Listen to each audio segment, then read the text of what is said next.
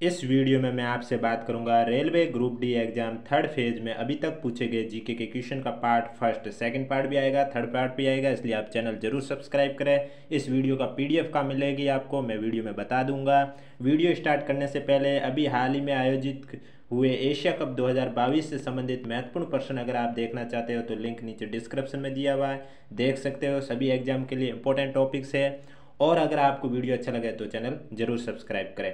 इस वीडियो में मैं आपको वो भी टॉपिक्स बताऊँगा जो बार बार ग्रुप डी में पूछे जा रहे हैं टॉपिक्स तो पहला क्वेश्चन आपके है। आज़ादी का अमृत महोत्सव की शुरुआत कब हुई? ये क्वेश्चन मैंने आपको आज़ादी के अमृत महोत्सव का स्पेशल वीडियो लाया था, उसमें मैंने आपका ये क्वेश्चन डाला था और ये ग्रुप डी में भी पूछ लिया गया है। अभी तक वीडियो नहीं देखा तो लिंक डिस्क्रिप्शन में दिया हुआ है। तो आपका राइट आंसर हो जाएगा, आज़ादी का अमृत महोत्सव की शुरुआत बारह मार्च दो हज़ार इक्कीस को हुई है। नेक्स्ट क्वेश्चन बारहवें hockey India senior man national championship 2022 का आयोजित हुई है। तो आपका राइट आंसर हो जाएगा twelfth hockey India senior man national championship 2022 Bhopal, Madhya Pradesh में आयोजित हुई है। नेक्स्ट क्वेश्चन संविधान के किस अनुच्छेद में वित्त आयोग का गठन का उल्लेख किया गया? तो आपका राइट आंसर हो जाएगा, संविधान के अनुच्छेद 280 में वित्त आयोग का गठन किया गया। यह टॉपिक जो कि अनुच्छेद वाला टॉपिक है, सभी शिफ्टों में क्वेश्चन आ रहे हैं। यानी कि ये टॉपिक आपको पूरा कवर करना बहुत कंपलसरी है। यहाँ से ये क्वेश्चन बनता ही बनता है। नेक्स्ट क्वेश्चन मुख्यमंत्री शिशु सेवा योजना किस राज्य ने शुरू की है? दूसरा ये टॉपिक किसी भी राज्य सरकार की जो भी योजना है, आप सब देख लीजिए, क्योंकि सभी शिफ्टों में पूछे जा रहे हैं किसी भी राज्य सरकार की योजना के बारे में।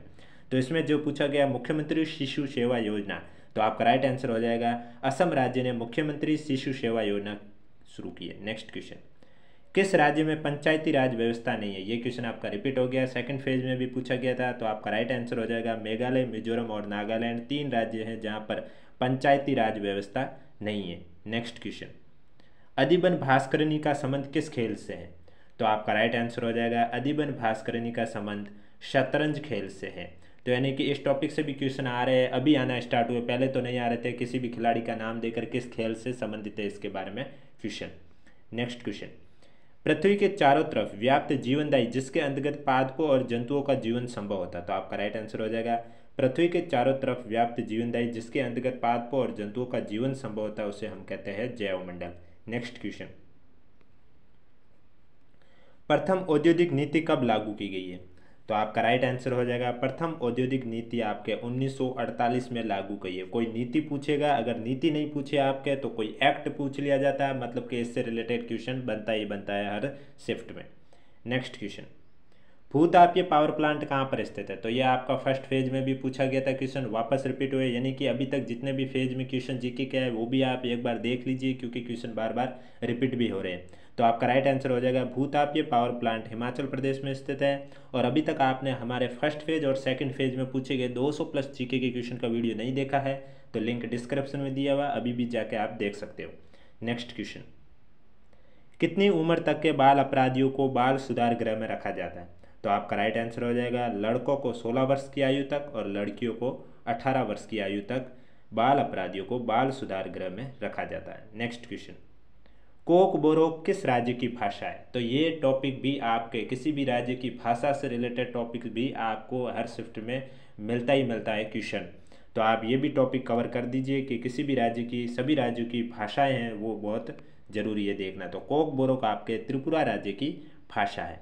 नेक्स्ट क्वेश्चन खारची महोत्सव किस राज्य में मनाया जाता है? त्यौहार तो वेरी इंपॉर्टेंट है, ये भी टॉपिक बार बार रिपीट हो रहे हैं तो खारची महोत्सव आपके त्रिपुरा राज्य में मनाया जाता है।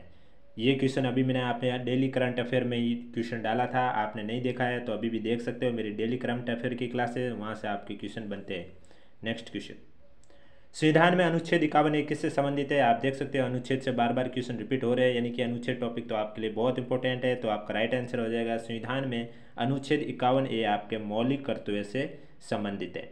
नेक्स्ट क्वेश्चन किस वर्ष के जगन्नाथ मंदिर अधिनियम में संशोधन करने हेतु ओडिशा मंत्रालय ने मंजूरी दी है? तो आपका राइट आंसर हो जाएगा, जगन्नाथ मंदिर अधिनियम उन्नीस में संशोधन करने हेतु ओडिशा मंत्रालय ने मंजूरी दी है। नेक्स्ट क्वेश्चन भारत का सबसे बड़ा कोयला भंडार किस राज्य में स्थित है? तो आपका राइट आंसर हो जाएगा, भारत का सबसे बड़ा कोयला भंडार आपके झारखंड राज्य में है।